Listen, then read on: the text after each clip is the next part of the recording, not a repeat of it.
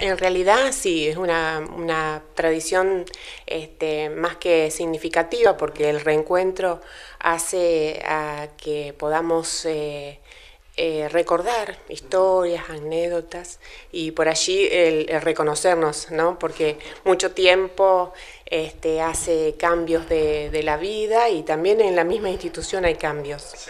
Qué difícil este, rastrear, como se dice popularmente, cada uno de los egresados, ¿no? Digo, porque muchos emigraron, muchos se fueron a otras ciudades, a otros países incluso. Sí, es verdad. Eh, gracias, gracias que en la escuela contamos con un grupo de exalumnos muy fuerte que, este, que se conecta, ya saben cuándo es la fecha, ya saben que es en agosto y comienzan ellos a acercarse y a buscar este, sus compañeros, buscar los listados y es un apoyo muy importante para nosotros.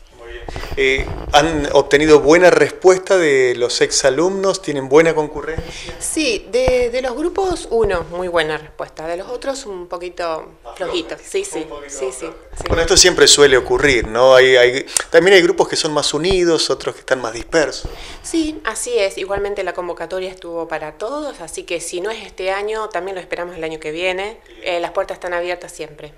Bueno, para finalizar, la escuela luce impecable. El objetivo también es mostrar este, los avances edilicios, la infraestructura, cómo está bonita, grande, amplia. Sí, así es. Este, poco a poco, junto con los organismos internos de nuestra escuela, Cooperadora y este, Club de Madres, están trabajando para ello. Este, y en, función del beneficio para todos, sobre todo para los niños. ¿Con qué necesidades cuentan hoy? Y puntualmente con un cargo de portero, que es fundamental, pero hace muchos años que lo estamos reclamando y no llega. La infraestructura ya es muy grande para la cantidad que tiene.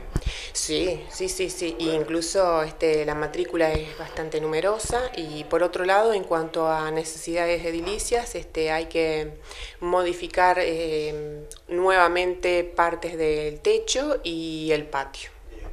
Y ante esto, ¿la provincia u organismos coescolares? Y los dos, eh, pero quizás está un poquito mm, lenta la provincia y gracias a los cooperadores, el beneficio que uno obtiene de toda la comunidad educativa, se va logrando de a poco algunos cambios.